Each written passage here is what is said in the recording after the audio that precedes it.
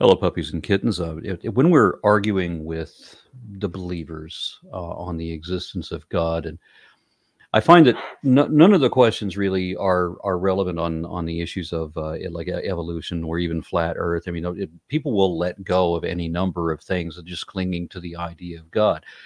But there's one concept that will cause them to even let go of God, because when they believe in God, what they're really believing in is not the magic imaginary friend. It's really they're envisioning themselves as God. Uh, the reason that I say this is I, I I caught a video by a preacher who who put me in a movie of his. It was of my week in atheism, wherein I caught him giving a lecture to his uh, sermon to his own congregation, wherein he admitted that if he couldn't live for absolutely forever, then he saw no value in human life. He saw no value in other people's lives. He says if he, if what he does today doesn't still matter, and he doesn't still matter five billion years from now, then nothing matters now. He said there's no reason to prolong life, but there's no reason to minimize suffering. He was the most nihilistic person I've ever encountered. And I mean nihilistic in the negative way, not the way that nihilists would refer to themselves. So we're going to be discussing the one thing that makes God go away is when you realize that there's no support for the soul because everybody's belief in God is actually dependent on a belief in themselves being gods their in their own ability to survive death and continue on in some unkillable way. So, Dr. Chris Thompson, uh, you are one of several neuroscientists that I have talked to about this subject, or we've we've talked in private, and some others have given me a number of extensive notes to put in some of my videos. But I've always wanted to have a recorded chat with a neuroscience on the topic of mind-body dualism and the and uh, what could be considered you know what, what some people will claim as evidence for the soul or evidence against the soul or the dearth of evidence where there should be however you would put that uh, welcome to the show sir Thank you very much. Yeah. i would also So- appreciate it if you would describe uh, your your accolades a little bit to get us started the audience Thanks. So I'm uh, an assistant professor at the School of Neuroscience in Virginia Tech, and I've been here for about six years. My research isn't on like consciousness per se. My research actually focuses more on neurotoxicology and neuroendocrinology, but um, I have a pretty wide, extensive knowledge of how the brain works. And um, the other thing, though, is I want to just briefly mention how we came into you know contact with each other. We also ha- I have a great appreciation for evolutionary biology and comparative biology, as do you. So we ended up debating together uh, on modern day debates um, on the issue of creation and evolution. I've actually done a few other debates on my own channel. I have a, my own YouTube channel, um, and I also do videos on neuroscience, topics of neuroscience, um, debating creationists, um, also debating on this issue, mind-body dualism.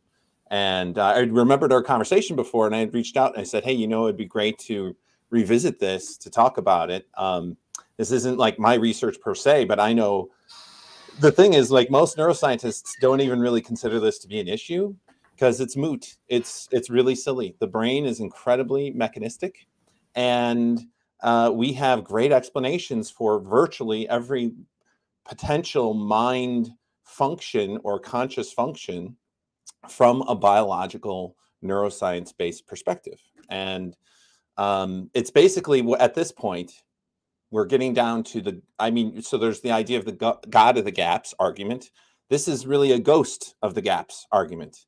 There, the, the- little window in which you can insert a spirit or woo or something into the brain to make it do something just gets smaller and smaller and smaller with every little detail that we learn about the brain. There just isn't room for it. So yeah, happy to talk about like where it kind of comes from and the background on this and why it's a silly idea.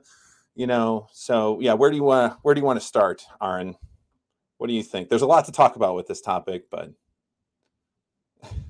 let's let's start rolling down the runway rather slowly before we get up to, Yeah. to flight speed. Um, I remember, much to my embarrassment now. I mean, I had a common belief that I know I know several adults that still believe this today. Uh, that that life had to be animated by a sort of life force. Now, this is George Stahl's theory that was disproved in the in the 19th century. Yet, most of the adults that I met in my youth that you know growing up certainly actually believed this that life had to be animated by some kind of a mm-hmm. supernatural spirit that you had the the the corporeal body and then you had the spiritual body that brought it to life. And then when when when it dies you know the, the body returns to dust and the spirit returns to the spirit world or that kind of thing.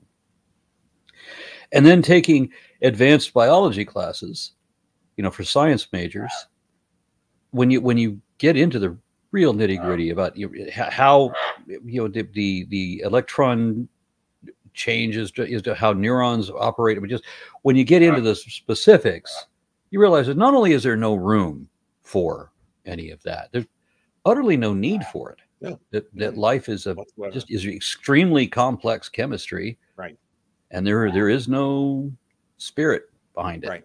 And you know, to be fair, you can appreciate where philosophy and even theologians started with this premise. Like you can kind of understand that it does appear to be mysterious and almost magical that there is a mind and when you look at the brain, I mean, you can think back to even how the Egyptians used the brain when they mummified, um, you know, people. They discarded the brain; it was completely useless to them. They thought the heart and the other organs, the liver, those were the important things. The brain was just pulled out through the nose with a silver uh, hook and discarded completely. So when you think back to like what Descartes, you know, Descartes is really kind of the most modern formulation who really laid out the main mind body dualism issue. Um, you can appreciate where he was coming from. Like where do we explain how can we explain human behavior? And at that time it was a mystery and i get that. Now the thing is about the way descartes approached this he was using his very methodical process of going through a series of logical steps to trying to understand behavior.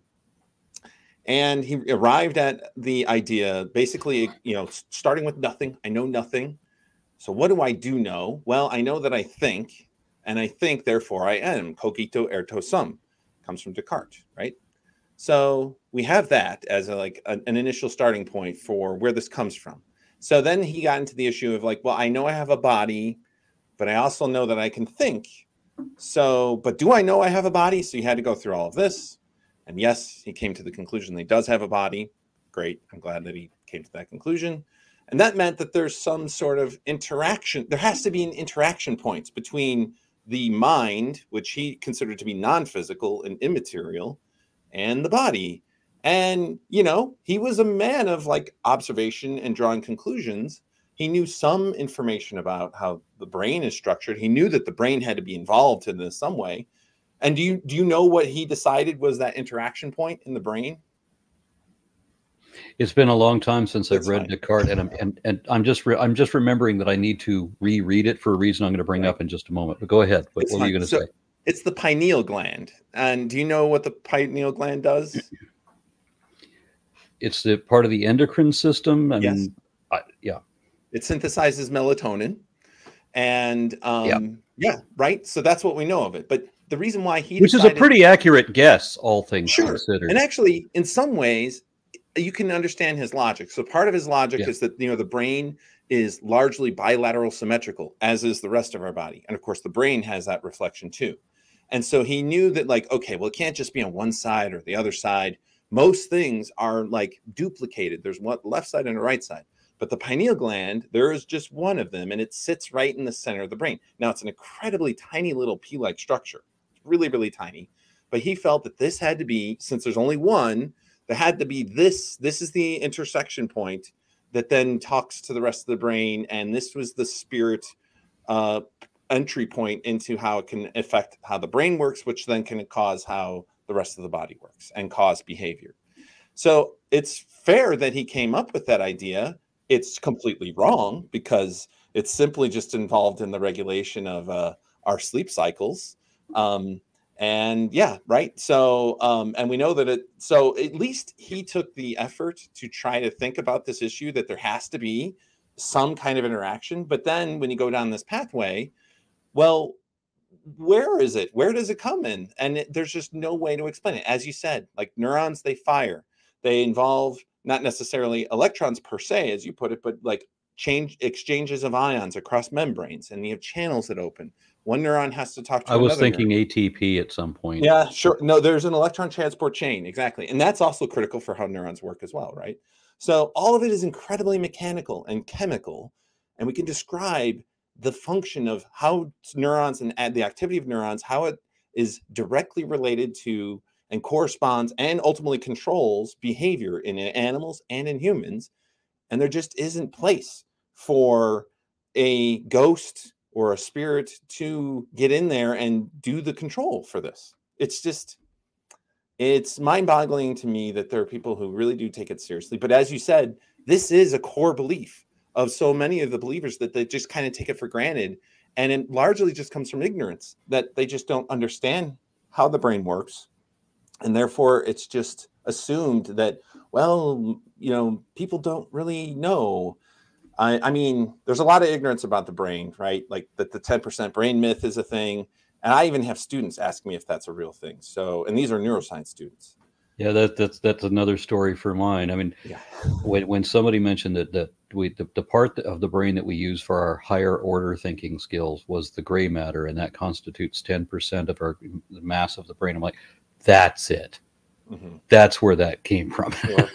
and even that isn't exactly right because it's not it's more than 10% the, the the gray matter portions of the brain and that so for gray matter for those who don't know those are the areas of the brain where you have the cell bodies of neurons and when we, we were that's in contrast to white matter which is the axons that are connected from one brain area to another and i mean that's it the neuron the whole brain is made up of just gray matter and white matter it's neurons sitting in certain places and then they are connected to other neurons in other places and the sum activity of neurons is what manifests as behavior and the important point being the important point being that you, we use our entire brain, you know, for bodily functions and for regulation and for other things. Right. It's only we use that ten percent, and I realize it's not an exact quote, but they, what we often hear is the ten percent was only what we use for the higher order thinking, and so somebody distorts that into ninety percent of our brain is sitting there unused. Right. Yes And when I when I w- read through when I when I started uh, talking about you know like in the intro, as soon as I mentioned that you know that some people would take you know would even throw out God if they can't have a soul. I mean that really all of it depends on on them believing they have an immortal soul. I realized right away Descartes, oddly enough, because you brought him up a moment Mhm. later, he was kind of an exception to that because while he is famous for having said, "I think, therefore I am," I find it strange that he was made famous for that, but he contradicted himself Mhm. later in the same work, yes where he's where he concludes that God exists, but he he doesn't necessarily exist. Maybe he doesn't exist and God does. right yes and and i think if you and you may correct me on this if i don't uh, have this right but i believe descartes argument for the existence of god is that because descartes can conceive of an entity like god that must mean that god exists. And that doesn't make a lot of sense to me because i can conceive of all kinds of weird things but that doesn't mean that they exist. Like we need evidence that these things exist. Um Yep, indeed. yes. so then then another thing that come up. And a matter of fact i saw i saw a tweet from lawrence krauss about this today. Now he's a cosmologist. Why would he be commenting on on neuroscience? But it, was a tweet just a, an hour or two ago that i saw from him t- talking about the hard problem oh yes the hard and I've. I've had I, I had an interview with uh, um, um, Patricia Churchland Mhm. on this very issue, and David Chalmers, the guy who came up with you know the hard problem. And the sad thing was, is that I, what I saw immediately was that Chalmers is giving a, he, he's giving a, a false dichotomy fallacy for his.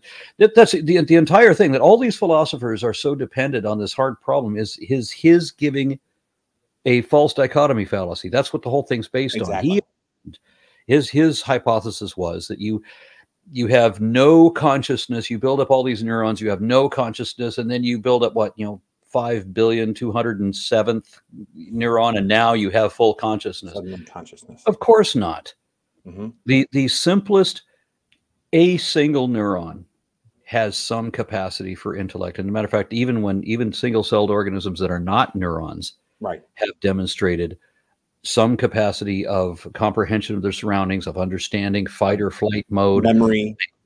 memory, yeah, Yes. calculations of a type. I mean, there's there's Sure.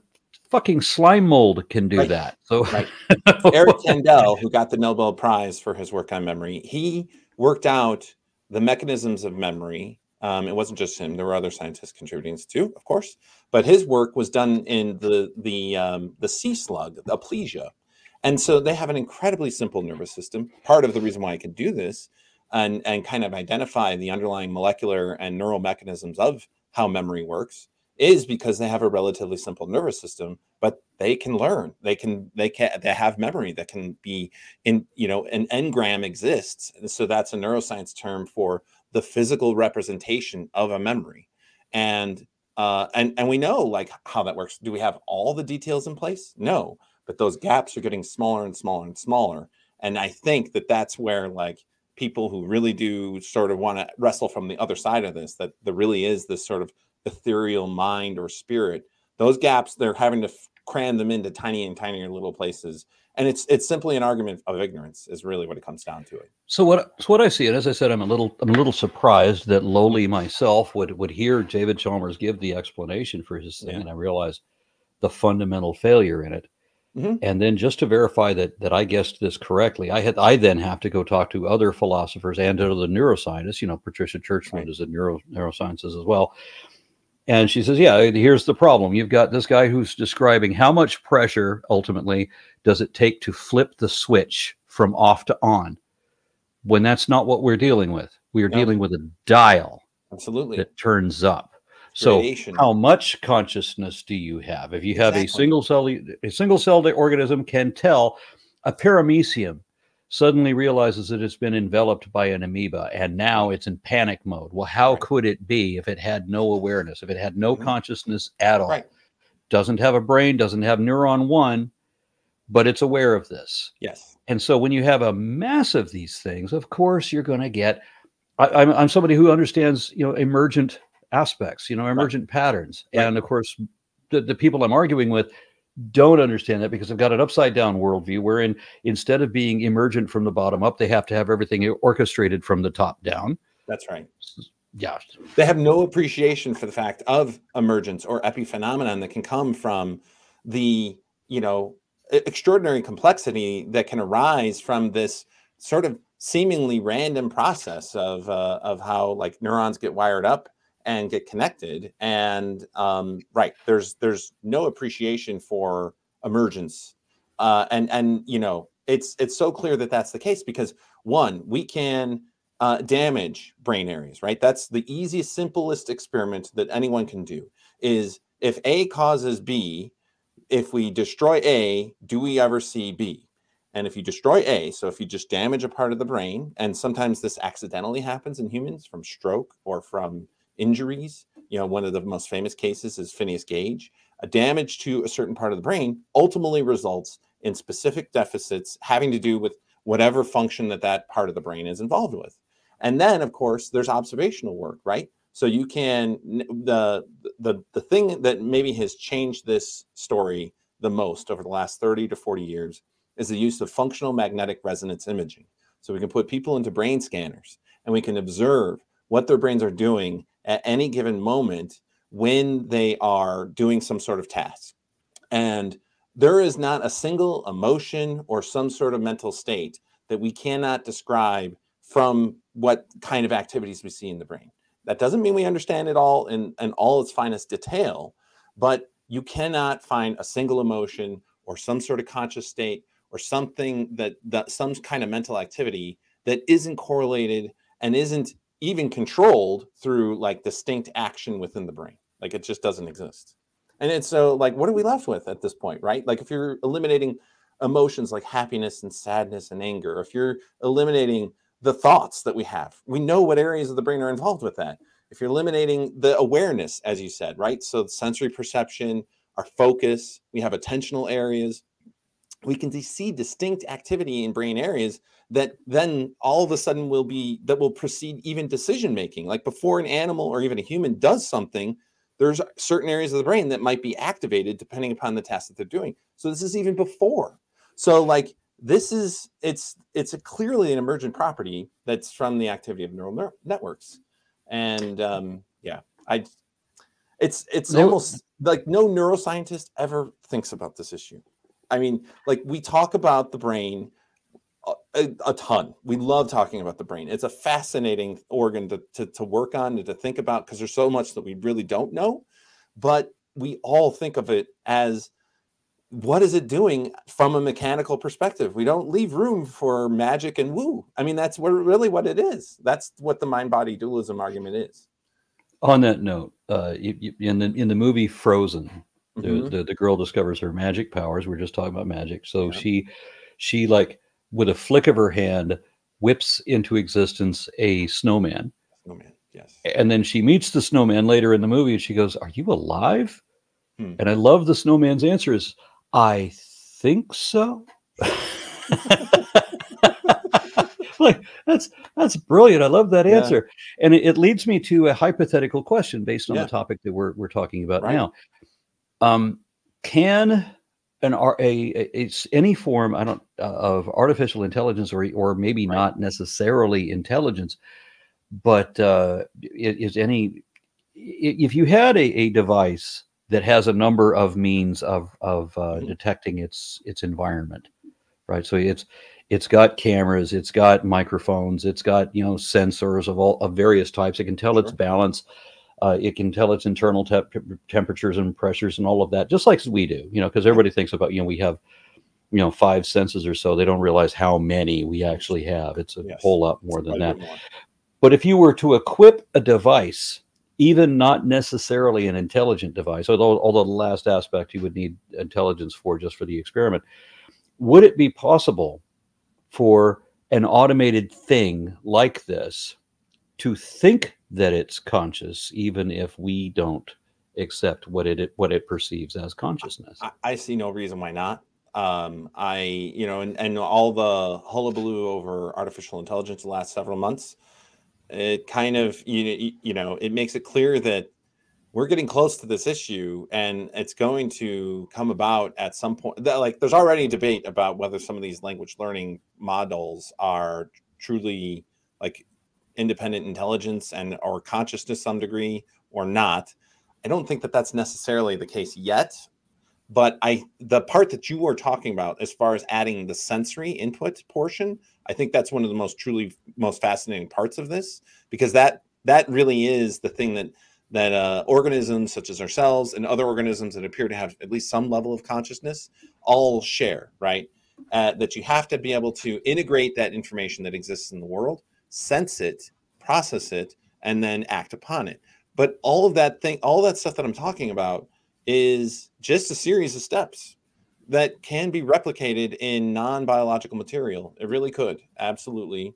I don't think that there's any reason why it couldn't um, it'll be fascinating. I'm really excited to see what the next several years are going to be like because um, this debate is going to get bigger. And I think that the artificial intelligence development is going to really challenge and bring this whole mind body dualism debate to the forefront of a lot of conversations. Like when people start being convinced that, okay, these things really do seem like intelligent entities that we need to have some sort of level of respect for, or like, that we need to consider that they have a consciousness like we that's going to call into question well what does it mean for us as humans and a lot more people start thinking about it because not to say that like you know like it's for me it's not a problem that my thoughts and my feelings are the result of the activity of neural networks i'm okay with that but i think most people don't get that they think that there's something special beyond that and it's going to be like kind of a shattering thing. I mean, on the order of Darwin and Scopes monkey trial, like I really do think that neuroscience could be like the next sort of evolutionary biology. We shouldn't be teaching this in schools kind of thing because of this issue. I, I do think that there's a chance of that happening. And I'm excited if it happens because that'll mean lots of debates for me. So yeah, the the invention of the automobile has somewhat confused this philosophically for a number of people, I mm. think, because people imagine you know you, you buy the the fancy car because you want to be the fancy car you want to show up in the beautiful car because it's easier to buy that than than to be the beautiful being you know be the beautiful being yourself right mm-hmm. and so people think that uh, when the car is wrecked you can get out of that and go get into another vehicle and you're still you but you're now in that new vehicle. And, and it re- reminds me of another movie, The Men in Black, the, the first one, mm-hmm. where you know the, the mortician is uh, is is peeling apart the layers of this this body, and and she sees that the body is not actually a body; it's just a vehicle, and there's a tiny little man inside the head with a bunch of levers and mm-hmm. everything. Mm-hmm and so this is what the believers that I'm talking to seem to believe something like that, except that it's yeah. not a physical guy right. trapped in there. It's literally a ghost in the machine. Exactly. Literally a ghost in the machine. Yes. And that's really at the at the core of what we're talking about now. Mm-hmm. I mean, this the, the the lack of evidence for the ghost. You mentioned Phineas Gage. There's a whole lot, yeah. a number of other things. Where is the ghost? Why why does the ghost have no effect? Right. In certain situations, how is the ghost itself unaffected by other by other situations where is it there can't be a correlation here right. i know you know where i'm going with this and i just i just want to set the stage for you to take mm-hmm. over yeah so i mean phineas gage is a great example so for those of us those out there that don't know about phineas gage he was a railroad railroad worker who uh, was tapping some dynamite into a tube um, you you know tapping it down with like a pole and then when the pole, um, unfortunately, the dynamite went off too early, and the pole went through his head, went through here, stuck through his head, and completely out the other side. And there's still some debate about whether it was like one hemisphere or both hemispheres that were affected, but mostly it damaged his frontal and prefrontal cortices.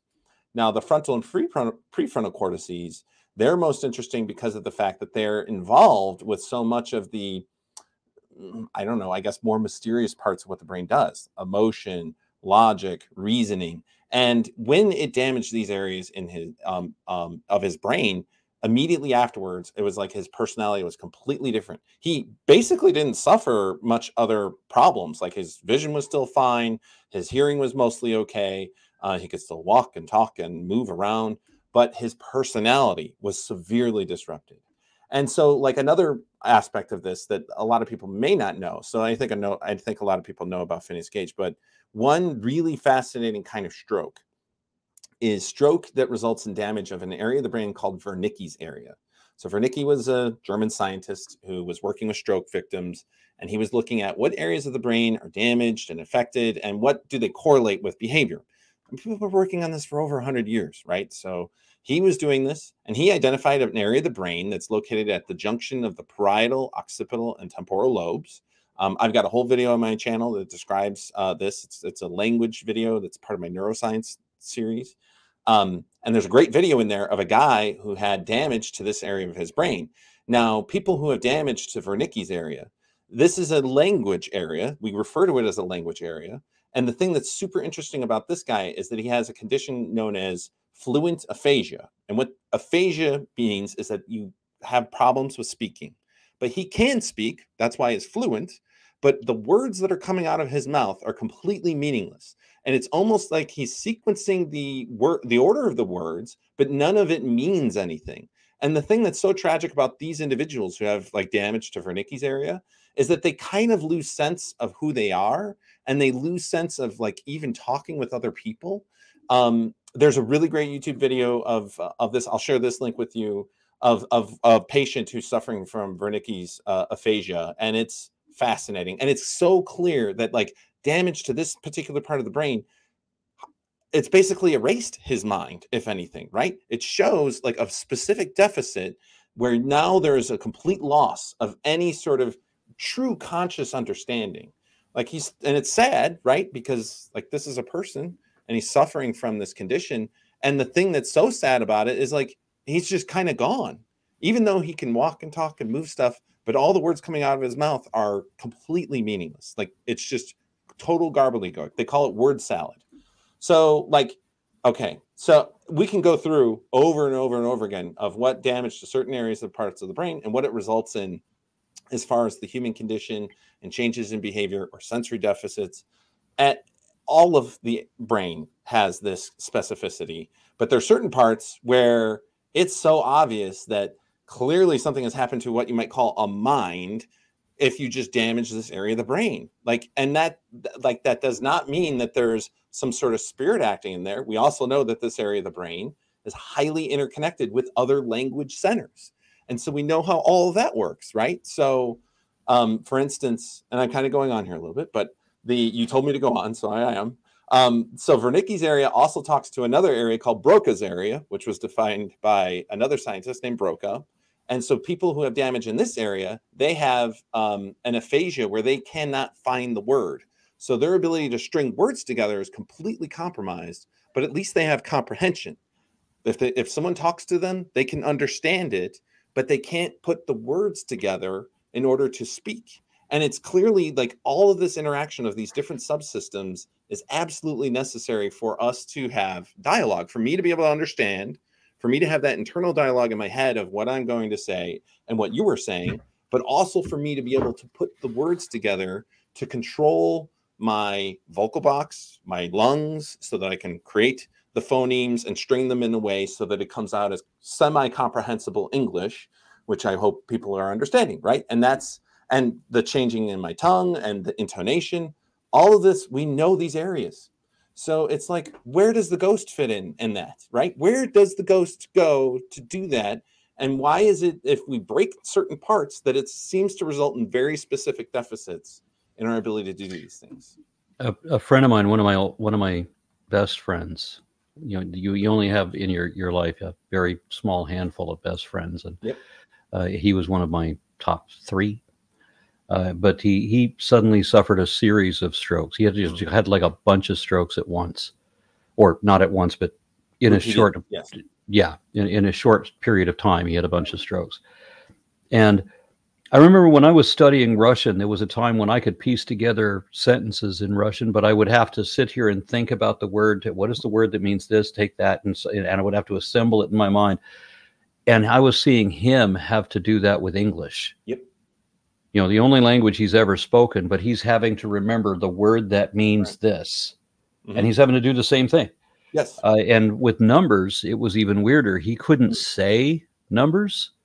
He'd have to write them. Wow interesting. Yeah. He would have to write write it and say this number. And i, sure. and I would say oh 10,000 he goes yes. Okay well beyond me. Yeah. Yeah. That's amazing. Yes. And and those so how is the how is the ghost in there not capable mm-hmm. of getting past so that. one analogy I've heard is that they they say that the the the brain is a piano and that there's a piano player that has to play on a piano and if the piano is damaged, well, now the piano player can't actually play the piano. I'm sorry. That analogy breaks down to there has to be a piano player touches on the keys and makes them depress and and and to allow for noise to happen to make music there is an interaction. You have to show an interaction if you're going to assume that those that that, that is a thing, that if that actually exists. You can't just assume it. And um yeah, I mean it's it's so we, we we've if there was this ghost, if there was uh, mm-hmm. if your personality or however right. other people want to describe your mind sure. or whatever this this version of self well, is. Actually, that's a great issue already because as far as neuroscientists go, we don't really talk about mind per se, even though that's sort of what it is. Mind is really the sum total of a bunch of things that we talk about. Um, attention abilities, consciousness, personality, emotion processing, memory, like all of these basic functions, I suppose you might call mind, but that's the thing. Like we can, those are now when we break it down into like subcategories, well, we can start talking about the specific areas of the brain that are involved with this, right? So, but anyway, sorry, I interrupted. Here's here's where I want to go with this. Uh, there's two concepts I'm going to present at the same time. One uh, is the idea that uh, that you can that one body breaks down, and whatever the you is, whatever you want to call it, whether it's mind or personality, some you know qualia or whatever collection, whatever your self is, right, somehow leaves that body to go inhabit another body. And the second scenario is uh, where people always say that, you know, well, if I knew then what I know now, okay, here's the idea. Uh, if you were going to trans, if you had some means of time travel, and now you just need the means to to transport your mind into your younger self. Mm-hmm. Either case, it's not possible because everything you learn and like i said when i was learning russian well i have all of these synapses now built up for this mm-hmm. and now i can i can readily access this but then if you fall out of practice at that well then all of that deteriorates and you get something else practiced right, right. So you you study martial arts, you get muscle memory, and so if it if it were possible to take your mind out of somebody else and put them put put your mind into that of a martial artist, well, suddenly you're going to have that muscle memory skill because you have the synapses in the physical brain. But the things that you were practiced in knowing, all of your musical skill or whatever it is, is gone. Mm-hmm. And you just don't have that anymore because it's all comes down to that that network of synapses yes. that, that require physical building. That's Likewise, right. if you want to go back to your younger self, if I only knew all that I knew now, mm-hmm.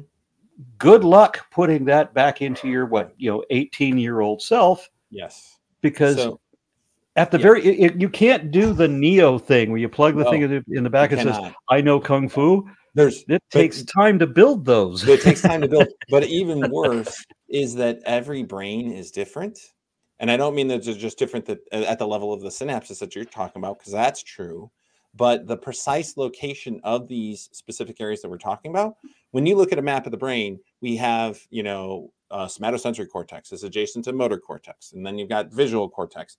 Those are sure, sure, those are general regions that we have, but the details actually vary a fair amount from brain to brain. And so going back to Wernicke's area and Broca's area, as well as a number of other language centers that we were that I mentioned, those locations are not universal across all humans. It varies precisely where it's located. So you wouldn't be able to take like the synapses from, say, like the exact synaptic conformation of the millions and millions, literally billions of neurons, and even more connections uh, for that, and then transpose it onto another brain because it's not going to be exactly the same. And the an 18 year old brain is very different than a 30 year old brain and it's very very different from a 65 year old brain the brain changes slowly over time and i hate to say this but unfortunately for old codgers like you and me it just gets worse uh, i mean you may have noticed like you're probably you're a very very sharp guy but i'm sure you were sharper when you were 25 than you are now and that's certainly true for me too um, it's just it's a it's the nature that degeneration occurs right and I, well, it, it depends on how you define sharp. I was I was sharp.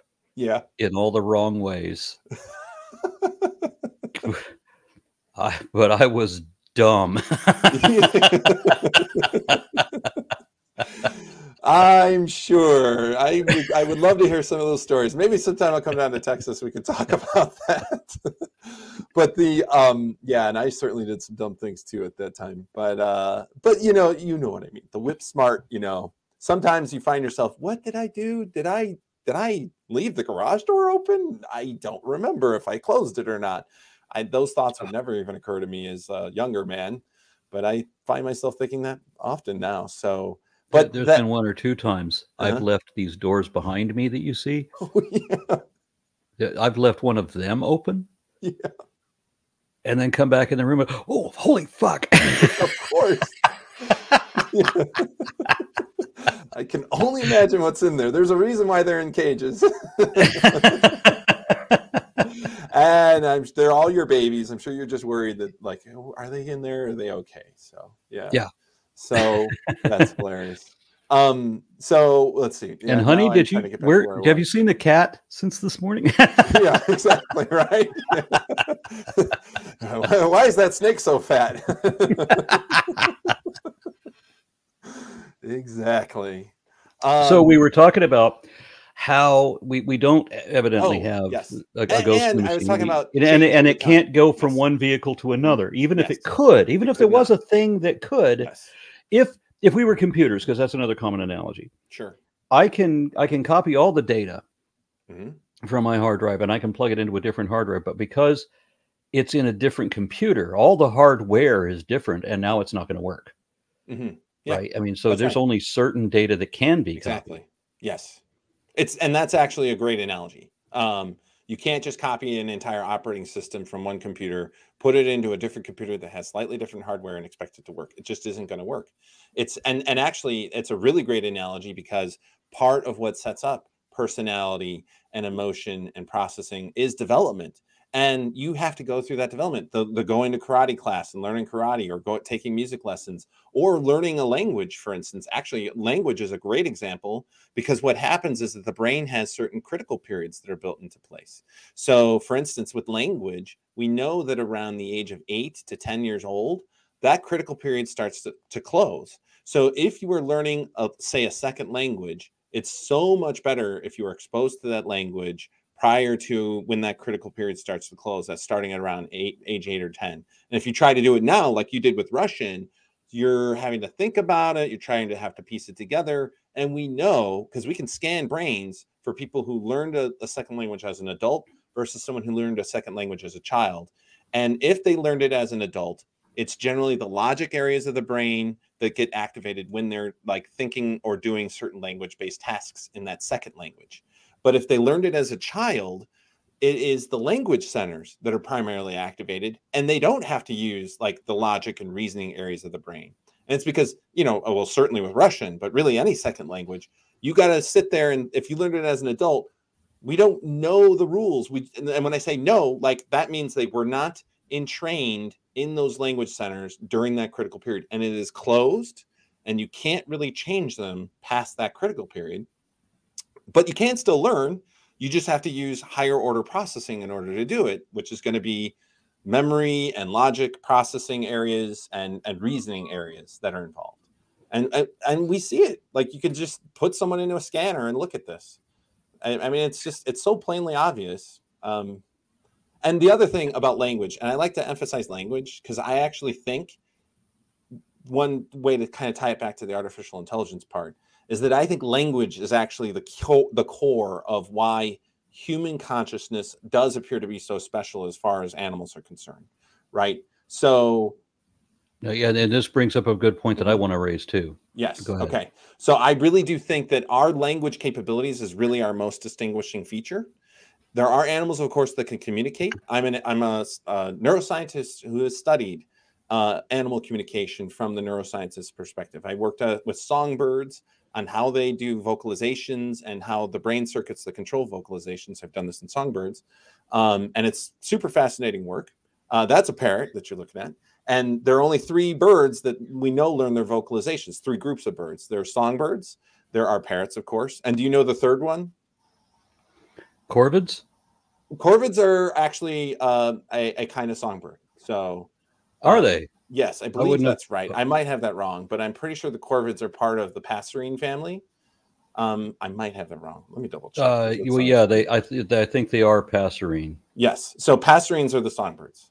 Yes. Yeah. So not not the suboscine passerines. So they don't they don't learn their vocalizations as far as we can tell. That includes things like barn swallows and and the other swallows and the swifts. Um, but they do kind of sing. There's some debate whether they learn it or not. The the third group is hummingbirds, believe it or not. So if you've ever heard a hummingbird, you know, hummingbirds are amazing little creatures. They and I'm getting a little off track here, but I love birds, so we're going to talk about it a little bit. Hummingbirds are so amazing. They they swoop around and they're constantly fighting each other and they can get really pissed off and they are so fascinating to watch. But they one thing that they will do, they're highly territorial territorial and they will go up and like perch way high up in a tree and then you'll hear this tiny little squeaky noise.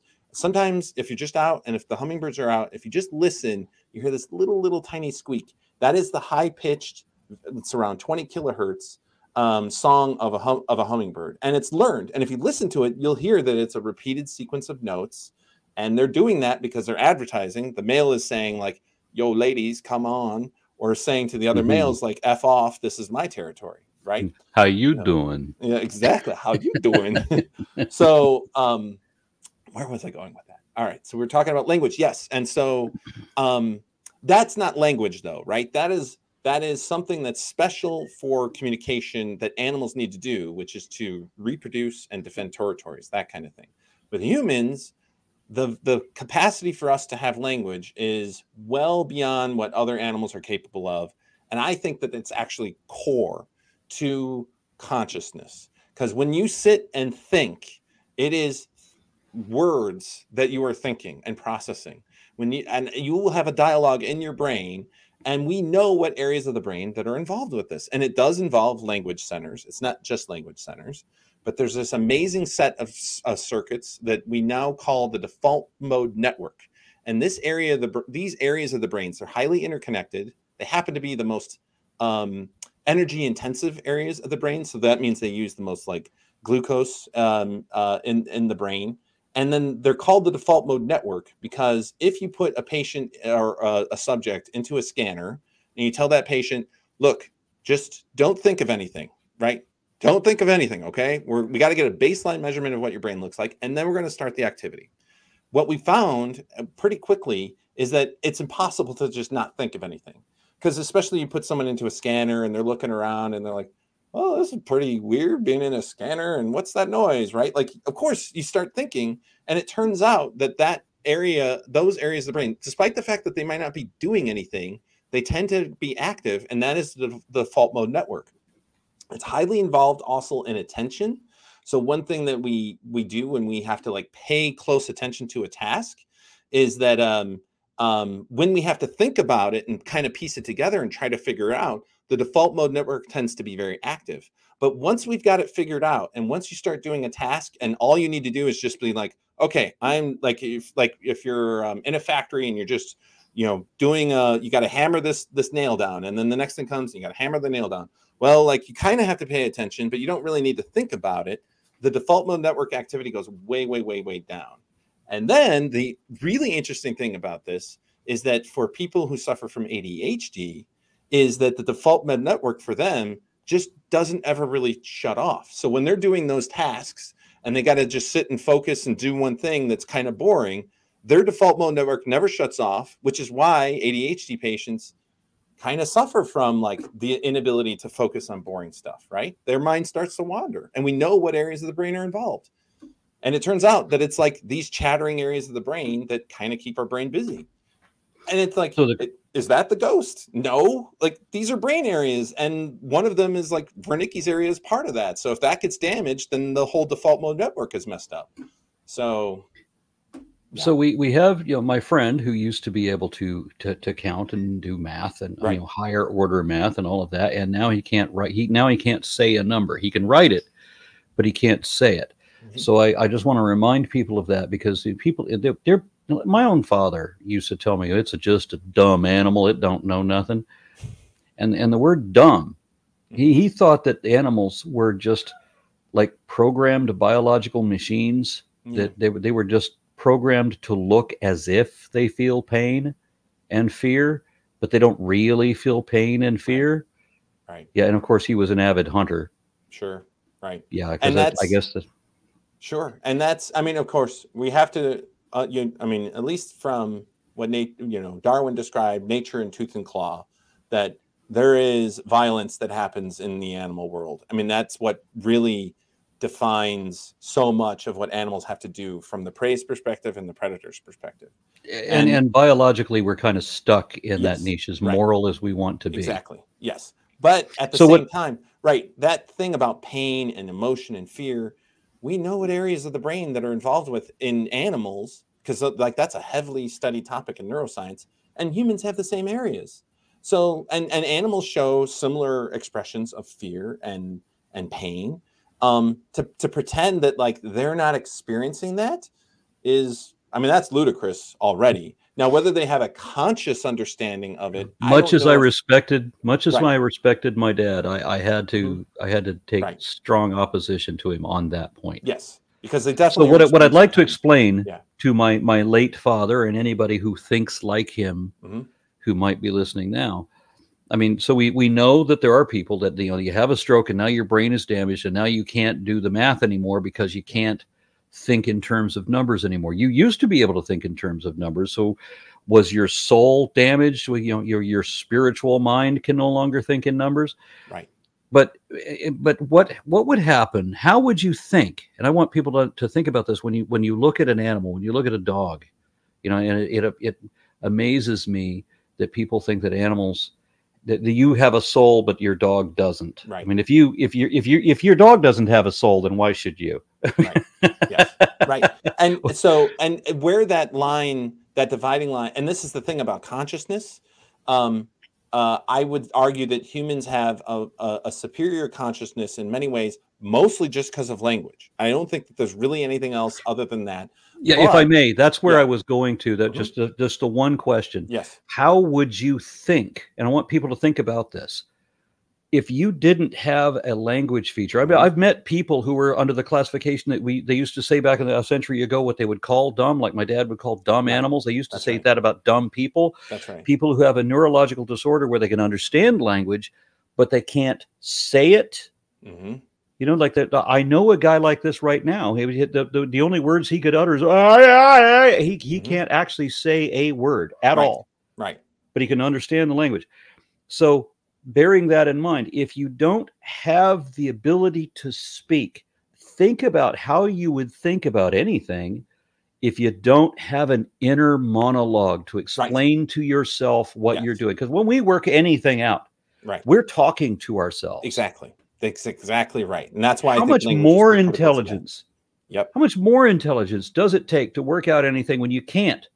Yes. Describe and, it. and so it doesn't necessarily require physical speech. It obviously helps, but uh, you know, I, there are people who are deaf, and many of them cannot speak with their, you know, their mouth, but they speak perfectly with their hands, and uh, they can have full conversations. It's a real language, and um, and of course, obviously, they are conscious, fully, you know, realized individuals that have all the capacity, if not more, than myself and you. Many of them, right? So uh, but they don't necessarily have to speak but it's they still have language yeah. and that's the key difference there right? So for this individual like the individuals who suffer from wernicke's area damage that where they can no longer comprehend speech this affects their ability to create thoughts. And you can tell by the way that they talk and that they can't understand anything. But for the person who has damage to broca's area who still has comprehension because they still have a working wernicke's area they can't put the words together because now you're getting more to the motor areas of the language system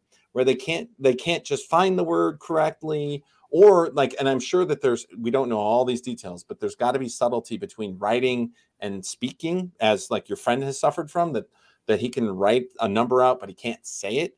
Um, this is kind of a common phenomenon with some of these patients because there's going to be some subtle division that occurs because it's different muscle groups that are involved with that but um, but you know, like there's no question that they're not, you know, they haven't suffered from like lack of consciousness or something.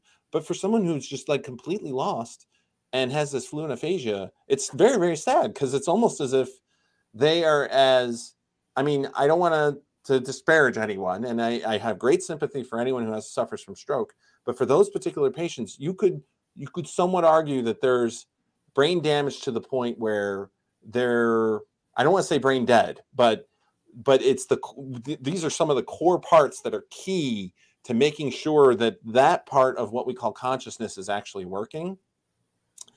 And clearly, like there's it's broken, and um, you know, to, but to pretend that somehow a ghost acts on those areas because those areas they're filled with neurons, and we know how they're connected to other neurons, and we know the areas that they're connected to and you know you can take uh, you can take so there's a transcranial magnetic stimulation a device that you can put onto kind of the head of a person and you can change the activity of brain areas and you can even shut down certain areas of the brain just temporarily like by by putting a magnetic pulse across the brain which will affect neural activity. And you can shut down speech. Like you can just completely block it and disrupt the ability to think.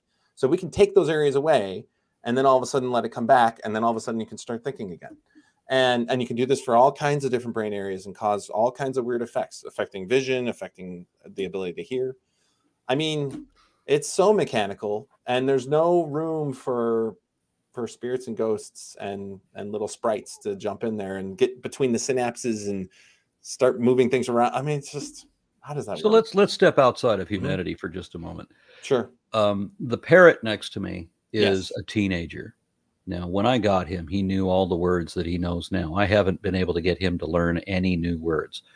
Every time I change his water, I say water. And I say water when I take it out. Mm-hmm. I say water when I put it back. I want him to know that he, you know, this, just say water, that this is what this means. And so I'm expecting that one day that he'll tell me his water's dirty and he'll just say water. Mm-hmm. And then I'll, you know, but he, he knows my name he thinks all food is apple. so if he's hungry, he'll say apple. hmm You know, it, it- food, snack, eat, whatever he thinks that means. It's all it that doesn't means matter. food. Yeah. Yeah, but but I, I can't get him to learn anything else. I guess he's let he's already beyond that critical learning Yeah. stage, Probably. you- yes. the first two years or whatever. Yeah. And I've I've seen some interesting experiments with like Kanzi uh, bonobo, Mhm. where chimpanzees and and uh, bonobos have an incredible memory, much better than ours is actually for um, memorizing orders of things. So they'll like they'll they'll flash up a, and this is interesting because especially for people who think that you know that that apes are just animals and therefore don't have any intelligence like people. Right. When we flash numbers at them and the ape then has to count the number back hitting the symbol and hit the one the two the three the four the five the six right and so they they learn what the order Yep. is and they can tell when it's out of order That's right. that's pretty impressive it's very they impressive. they don't have the gap in the roof of their mouth that we have Mhm. between that there's a tiny space above our tongue in the roof of the mouth that allows us to make these noises the same reason that he can talk this parrot can talk but other birds in the yard cannot it's just a slight difference in the inside of the mouth a bit and make that noise so here's here's an ape it's not physically capable of making the kind and also the, the position of their larynx is different Larynx. Yep. the very reason that we choke on our food and chimpanzees don't is also the reason we can talk and they can't. Right.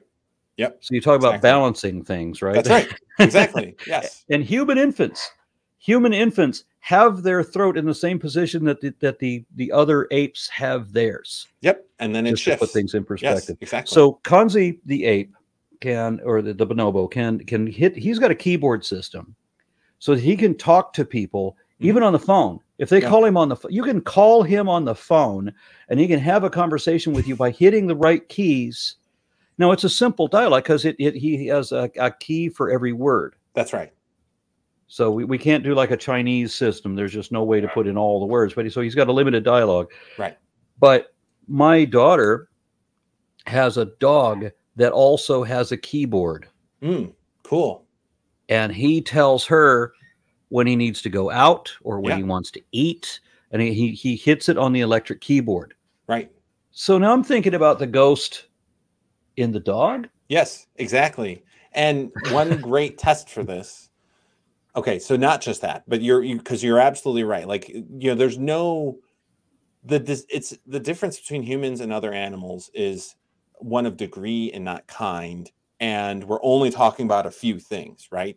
We're talking about language capabilities, uh, consciousness, um, some of the, but I mean, uh, well, I mean, only a handful of things, right?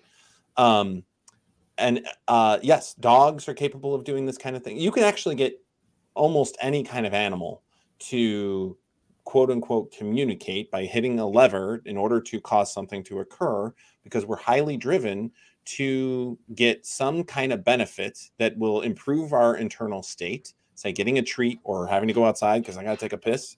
Um, you can train any animal to hit a lever in order to tell you to do that for the most part. I, I don't want to say any animal. Um, most mammals can do this. Most birds can do this. I would be surprised if you can't find lizards that can do this as well. I'm sure that you can. Um, but this is because animals they have to live in a dynamic environment and they have to have the capacity for learning and knowing that there's a reward that comes from something so that they're going to just do it again right this is just basic sort of classical conditioning paradigm now it does tend to get better with certain kinds of animals with sort of greater cognitive ca- capacities such as say bonobos another interesting wrinkle to this is um, something that we can call like self-awareness so one thing that we know of, you know, getting back to Descartes to kind of wrap it all back, Descartes knew that he had a body, right? He eventually got to that point. He knew, of course, starting with the mind, but then he also figured out he has a body. Um, and I suppose, you know, they had mirrors so he could see the body, right? And that was part of his evidence that there's that he could see himself in the mirror. And they, he's like, okay, so I have a mind and it's existing and working with this body, and I can see my body in the mirror. So not all animal most animals cannot recognize themselves in the mirror, but there are animals that can. This is known as the mirror recognition test. And we know that the great apes, all of them can. When you get to um, the uh, some dogs, but not yes. other dogs. Yes, not all like... dogs for some reason, but elephants can.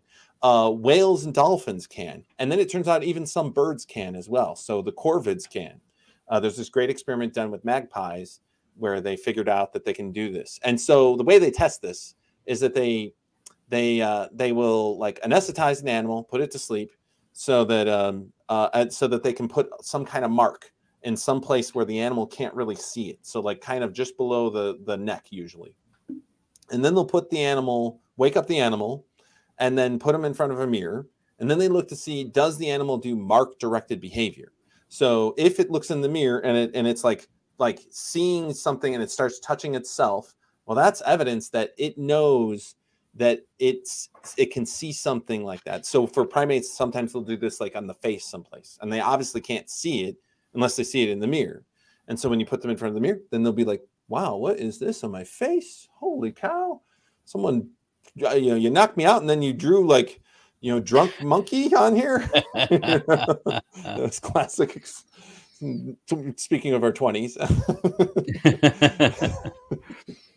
that kind of thing right no one knows until they look in the mirror so but but animals can do this so they have self understanding they know that they have a body and they can even understand that an image of themselves in a mirror is the reflection of themselves so i mean like again it's a degree it's a it's a difference of degree and not kind with as far as humans to other animals yeah and it just also so, shows like, well, okay, are you going to say chimpanzees? They have spirits then too, right?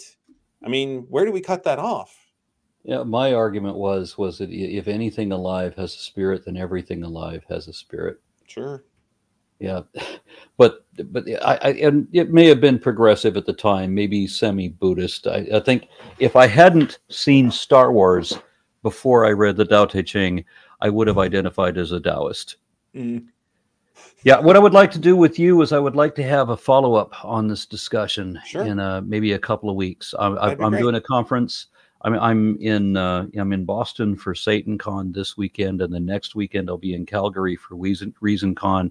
Awesome. And I'm stupid busy between now and then. When I come back from ReasonCon, I'll have a minute to breathe. Cool.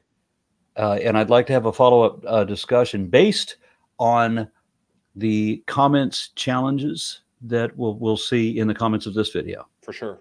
Yeah. Because if there's anything we missed, I'm sure there is. I think we did pretty good, but I'm, I'm sure so somebody will come up with something. Oh, I'm sure. And I'd like I'd like to have a follow up based on that. Up. You said I'd that you happy to do that.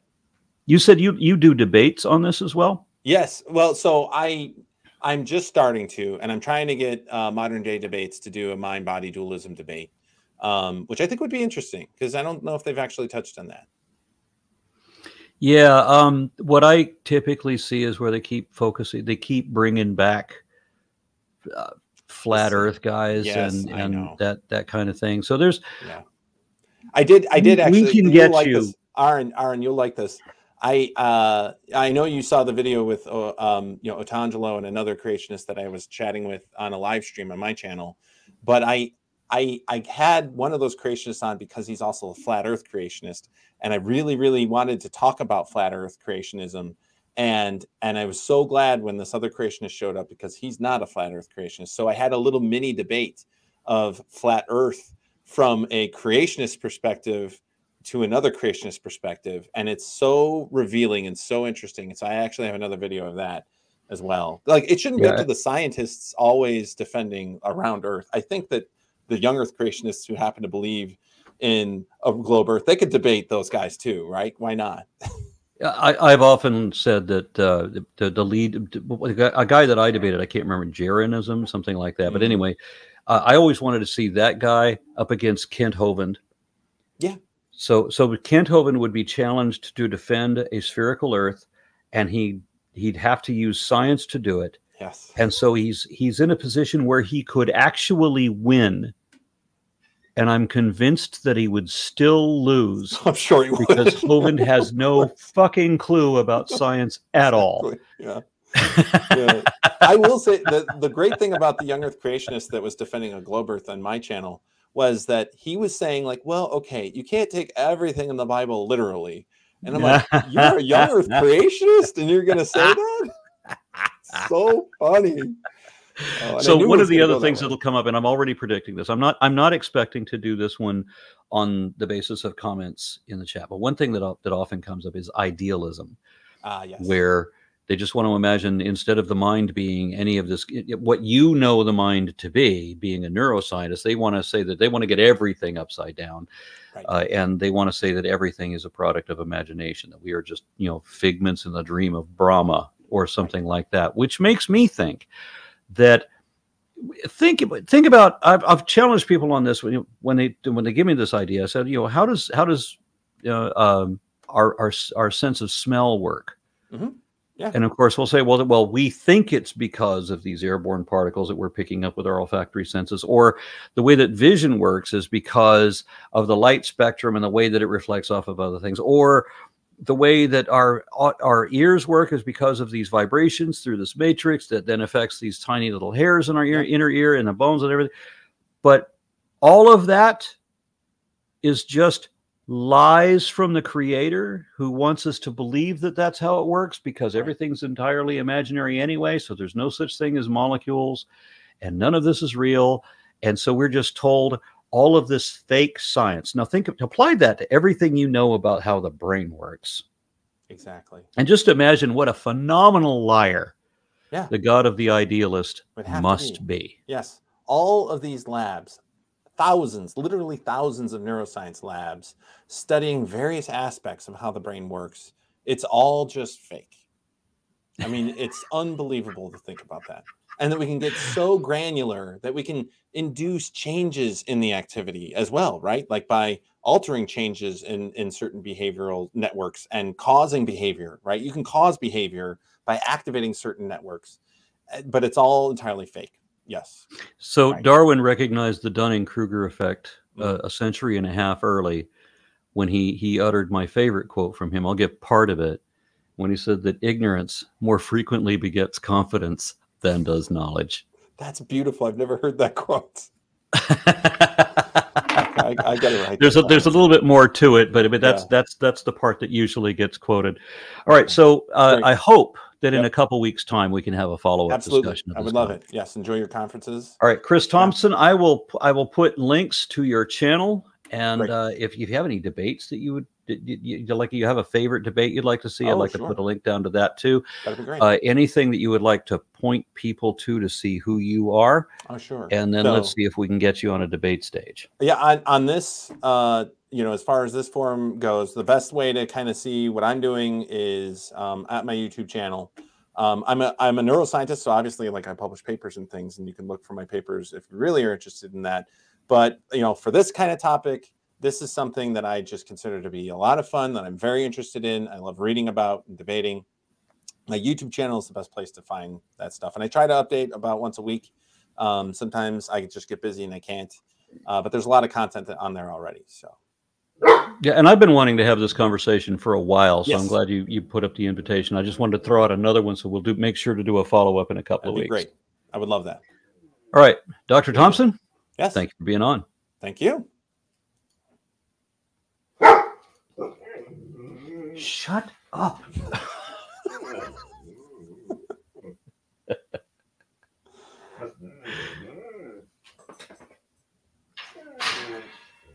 Why will this not end? I don't know. Yeah, it says live.